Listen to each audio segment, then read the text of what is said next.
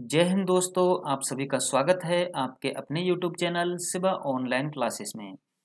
दोस्तों, आज की इस वीडियो में हम बात करने वाले हैं इंडियन आर्मी में निकली एक बहुत बड़ी भर्ती के बारे में। तो दोस्तों, आज की इस वीडियो में हम आपके लिए इस भर्ती से रिलेटेड पूरी जानकारी देने वाले हैं। जैसे दोस्तों, आपके लिए यहाँ पर कौन कौन से पोस्ट के लिए वैकेंसीज निकली हुई हैं, उन पोस्ट में आपको अप्लाई करने के लिए आपकी जो एज लिमिट है, आपकी जो एजुकेशन क्वालिफिकेशन है, आपकी हाइट, वेट, चेस्ट मतलब जो भी चीज़ की रिक्वायरमेंट है, पूरी की पूरी बताने वाले हैं। इसके बाद में दोस्तों, हम आपको ये भी बताएँगे कि ये जो भर्ती है, वो कौन से स्टेट के लिए निकली हुई है और ये जो भर्ती है, इसमें कौन कौन सी डिस्ट्रिक्ट्स के जो कैंडिडेट्स हैं, वो अप्लाई कर पाएँगे। उसके बाद में दोस्तों, हम आपके लिए ये भी बताएँगे कि ये जो भर्ती है, इसके ऑनलाइन रजिस्ट्रेशन कब से कब तक होंगे और ये भर्ती कब से कब तक कराई जाएगी। तो दोस्तों, पूरी वीडियो को लास्ट तक ज़रूर देखते रहिएगा, क्योंकि वीडियो आपके बहुत काम की है। तो चलिए दोस्तों, वीडियो शुरू करने से पहले आपसे एक छोटी सी रिक्वेस्ट है यार कि आपको अगर ये वीडियो पसंद आए तो वीडियो को लाइक करना और अगर आप इंडियन आर्मी में तैयारी करना चाहते हैं तो आप हमारे यूट्यूब चैनल को सब्सक्राइब ज़रूर कर लें। क्योंकि दोस्तों, आपके लिए हमारे चैनल पर इंडियन आर्मी की वैकेंसीज के साथ साथ उनके रिटर्न एग्ज़ाम के लिए भी तैयारी कराई जाती है। तो चलिए दोस्तों, स्टार्ट करते हैं आज की वीडियो।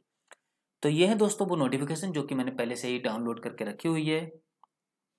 तो सबसे पहले तो आपको बता दें दोस्तों कि ये जो भर्ती है वो 25 मार्च 2021 से 6 अप्रैल 2021 के बीच में कराई जाएगी, ठीक है?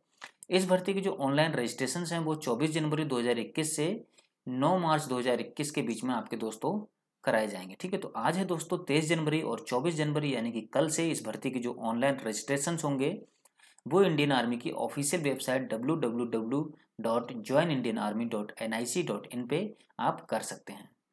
उसके बाद दोस्तों यहाँ पर कौन कौन सी पोस्ट के लिए भर्ती निकली हुई, सबसे पहले आपको ये बता देना चाहता हूँ मैं दोस्तों। तो यहाँ पर जो भर्ती निकली हुई है दोस्तों, सभी पोस्ट के लिए यहाँ पर निकली हुई है, जैसे दोस्तों आप देख सकते हैं, सोल्जर जनरल ड्यूटी। तो सबसे पहले मैं आपके लिए सोल्जर जनरल ड्यूटी में क्या क्या चीज़ की रिक्वायरमेंट होगी आपको बता देता हूँ। आपकी जो एज लिमिट है दोस्तों, सोल्जर जनरल ड्यूटी यानी कि जीडी के लिए साढ़े सत्रह से इक्कीस साल होने चाहिए। एज लिमिट आपकी साढ़े सत्रह से इक्कीस और आपकी जो डेट ऑफ़ बर्थ है, वो एक अक्टूबर उन्नीस सौ निन्यानवे से एक अप्रैल 2003 के बीच में होना ज़रूरी है।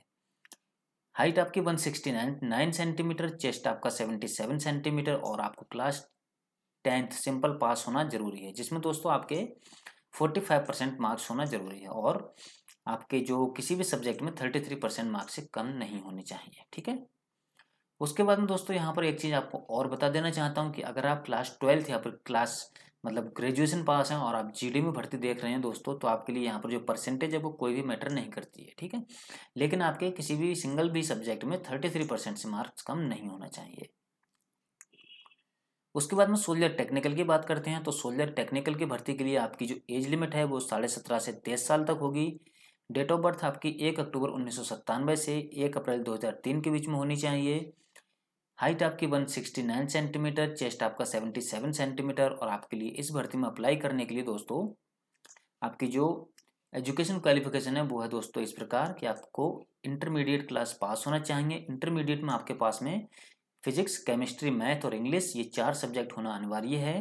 किसी भी टोटल, सॉरी, आपकी जो ओवरऑल परसेंटेज होगी वो फिफ्टी परसेंट से कम नहीं होनी चाहिए और आपकी जो ओवरऑल परसेंट किसी भी सिंगल सब्जेक्ट में आपके चालीस परसेंट मार्क्स से कम नहीं होने चाहिए। तो आप सोल्जर टेक्निकल के लिए अप्लाई कर सकते हैं, ठीक है? उसके बाद दोस्तों हम आपसे बात करने वाले हैं सोल्जर टेक्निकल नर्सिंग असिस्टेंट। अगर आप नर्सिंग असिस्टेंट की भर्ती देखना चाहते हैं तो आपकी एज लिमिट सेम होगी एज टेक्निकल, साढ़े सत्रह से तेईस साल, हाइट आपकी one sixty nine centimetre, chest seventy seven centimetre. लेकिन यहाँ पर दोस्तों आपको इंटरमीडिएट पास होना ज़रूरी है और आपके साथ में, आपके पास में दोस्तों फिजिक्स, केमिस्ट्री, बायोलॉजी और इंग्लिश सब्जेक्ट होना ज़रूरी है। ओवरऑल परसेंटेज फिफ्टी और किसी भी सब्जेक्ट में चालीस परसेंट मार्क्स से कम नहीं होने चाहिए, ठीक है? उसके बाद दोस्तों हम बात कर लेते हैं यहाँ पे सोल्जर क्लर्क्स तो सोल्जर क्लर्क और स्टोर कीपर की अगर आप भर्ती देखना चाहते हैं तो आपकी जो एज लिमिट है दोस्तों, साढ़े सत्रह से तेईस साल। हाइट आपकी 162 सेंटीमीटर चेस्ट आपका 77 सेंटीमीटर यहाँ पर दोस्तों आपके एजुकेशन क्वालिफिकेशन में कुछ बदलाव किया गया है। तो इसमें दोस्तों अगर आप सोल्जर क्लर्क या फिर स्टोर कीपर की भर्ती देखना चाहते हैं तो आपके पास में दोस्तों इंटरमीडिएट आप पास होना ज़रूरी है। इंटरमीडिएट में आपके पास में दोस्तों मैथ और इंग्लिश होना ज़रूरी है।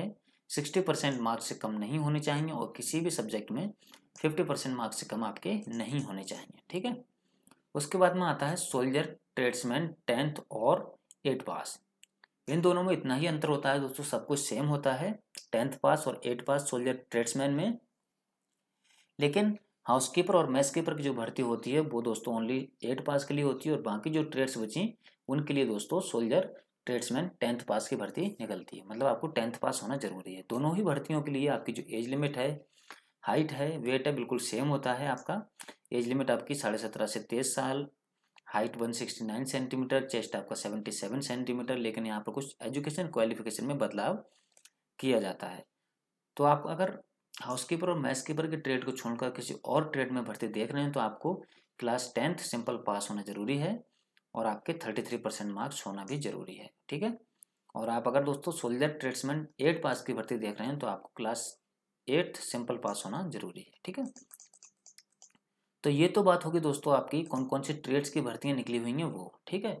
उसके बाद दोस्तों हम बात कर लेते हैं यहाँ पे आपके, ये जो भर्ती है वो किस स्टेट के लिए निकली हुई है। तो ये जो भर्ती है दोस्तों वो ए आर ओ गोपालपुर की तरफ़ से निकाली गई है दोस्तों उड़ीसा के लिए। और ये भर्ती है जो 25 मार्च से 6 अप्रैल 2021 के बीच में होगी। और इस भर्ती में दोस्तों, ये जो डिस्ट्रिक्ट्स हैं, आप देख सकते हैं, यहाँ पर नाम दिया गया है दोस्तों। मैं आपको एक एक डिस्ट्रिक्ट का नाम पढ़ के बता देता हूँ। पूरी डिस्ट्रिक्ट्स का नाम आप पढ़ लीजिए। अगर आप इन डिस्ट्रिक्ट से दोस्तों बिलोंग करते हैं तो आप इस भर्ती में शामिल हो सकते हैं। तो दोस्तों नंबर वन पे है गजना सॉरी गंजम, गजापति, कंडामाल, बौद्ध, मलका, मलकानगिरी उसके बाद में है दोस्तों आपका नवरंगपुर रयागदा, उसके बाद में है दोस्तों कालाहांडी, उसके बाद में दोस्तों आपकी नेक्स्ट डिस्ट्रिक्ट है आपकी नौपाड़ा और कोरापूत अगर आप इन डिस्ट्रिक्ट के रहने वाले हैं उड़ीसा में तो आप इस भर्ती में अप्लाई कर सकते हैं। तो चलिए दोस्तों, आज की वीडियो में बस इतना ही। अगर वीडियो पसंद आए तो वीडियो को लाइक करना और हमारे YouTube channel Siva online classes को सब्सक्राइब ज़रूर करना। तो चलिए दोस्तों, जय हिंद, जय भारत।